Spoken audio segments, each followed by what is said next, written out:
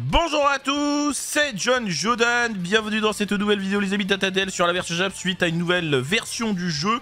Alors la principale nouveauté concerne des items mémoire que j'apprécie pas trop parce qu'on s'en sert quasiment jamais et puis ça grille des animations pour rien. Mais bon, euh, donc ils ont une sorte d'éveil. Hein, on avait vu ça dans le Veil Job, bon j'avais pas fait vidéo juste pour ça mais bon ils ont une sorte d'éveil euh, un peu comme les étayères avec plusieurs étapes. Donc niveau 2, niveau 3 et euh, bah, ils deviennent logiquement plus intéressants. Alors après, bon, il euh, y a quand même certains items qui sont vraiment goldés, comme Bulma par exemple.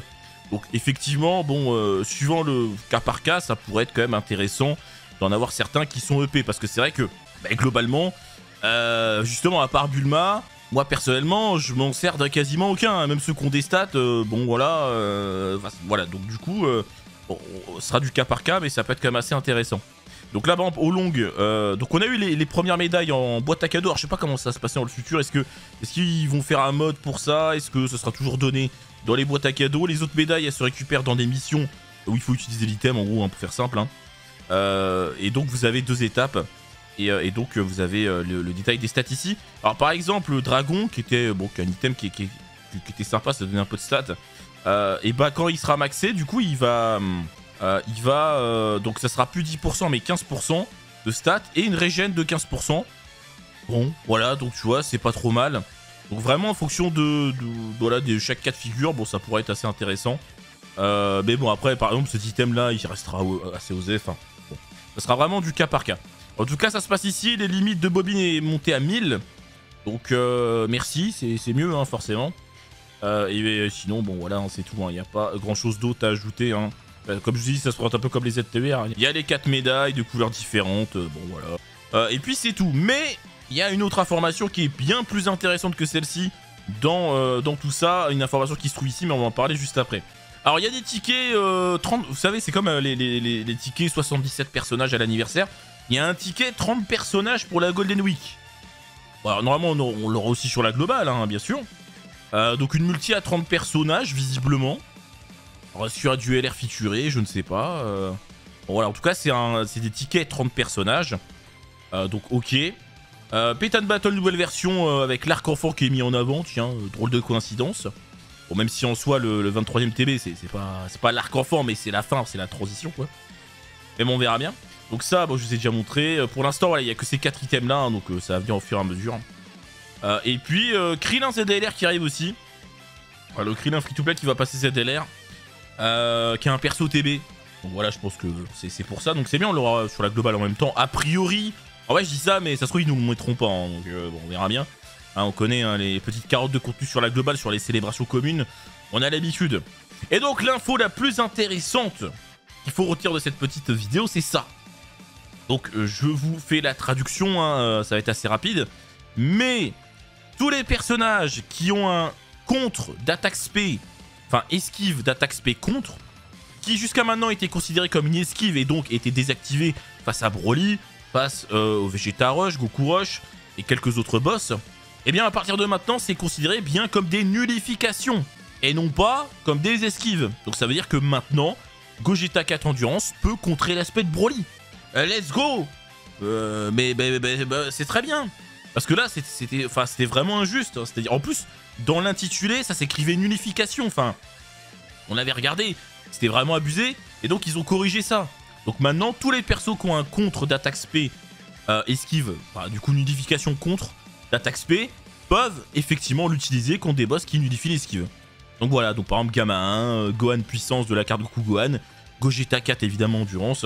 Donc ça c'est très bien. Alors attention les gars, ça concerne que les contres d'attaque spé euh, évidemment, ça concerne pas l'esquive normale. Hein. Par exemple, Yamcha, il peut pas esquiver face à Broly. Hein. Ça concerne que ces, euh, ces trucs-là. Et en même temps, c'est normal parce que c'était pas des esquives en vrai. Hein. dans l'intitulé, c'était indiqué comme les nullifications. Donc vraiment, c'était un bug ou un truc qui était mal fait.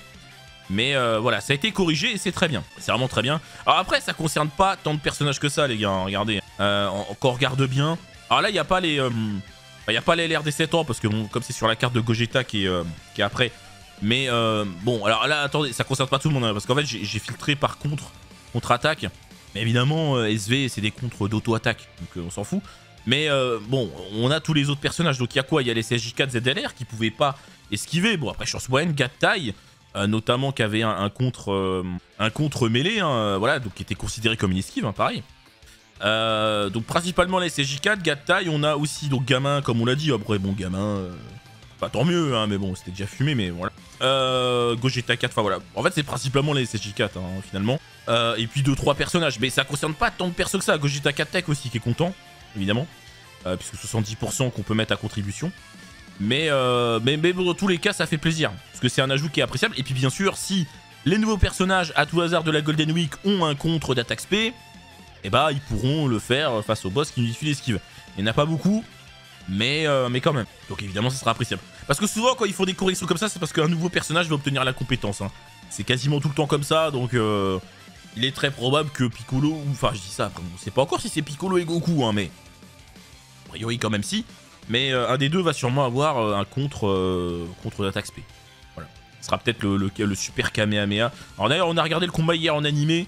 Ensemble sur Twitch, c'était incroyable. Hein. Le combat, il est vraiment. c'est une dinguerie. Hein. Vraiment, c'est un des plus beaux combats, plus impactants. même en termes de chorégraphie un peu à l'ancienne. voilà, c'était une dinguerie. C'était vraiment. On a passé un super bon moment. Et ils ont. Mais ils ont tellement d'options d'animation, il y a tellement de moves, tellement d'attaques, tellement de trucs. Ah là, euh, non, ils vont se régaler. Hein, donc, euh, bon, après, normalement, ça sera sympa. Parce que beaucoup, j'étais en mode, ouais, 18 euh, ki, 12 ki. Non, mais normalement, les persos Week, c'est pas DLR. Ah, je dis bien normalement, parce que bon, voilà. Donc, normalement, ça sera pas DLR. J'espère pas, parce qu'un LR, vous savez, aujourd'hui. Alors, ok, il y a une SP en plus, c'est bien, mais, mais le, taux, de drop est plus faible. Hein, donc, les TUR, c'est bien aussi. Hein, les TUR, c'est bien. et puis, tu peux aussi mettre pas mal d'animation, c'est très bien. Donc on verra bien. Après, c'est sûr qu'il y avait de quoi faire DLR hein, en termes de, choix d'animation, bien sûr, mais bon. Euh, donc voilà les amis, euh, bon de toute façon on aura le reveal la semaine prochaine, bien sûr hein, vers mercredi, jeudi. Euh, donc encore une semaine à patienter, le TB demain sur la globale. Voilà voilà. Bon on va se laisser là-dessus les amis, n'hésitez pas à lâcher le petit pouce bleu, à vous abonner si ce n'est pas déjà fait, des bisous à tous, à très bientôt, salut